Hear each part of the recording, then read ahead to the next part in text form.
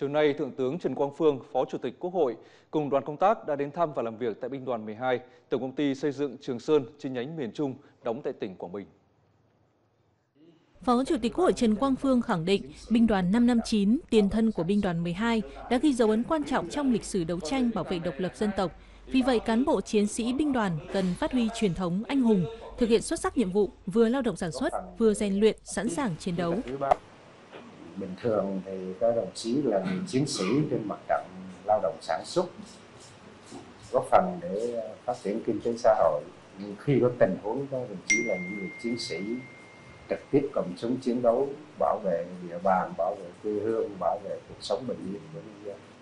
và đây là một cái chủ trương lớn của đảng nhà nước của quân ủy trung ương tiếp tục khẳng định cái mô hình này do đó rất mong các đồng chí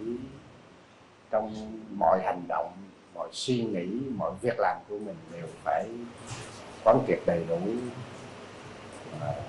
quan điểm này và nhiệm vụ chính trị của Mỹ của quốc gia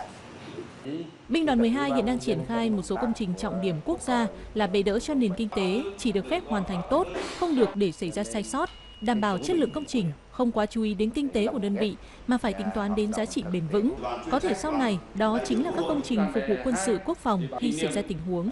Dịp này, đoàn công tác đã trồng cây lưu niệm tại trụ sở binh đoàn 12.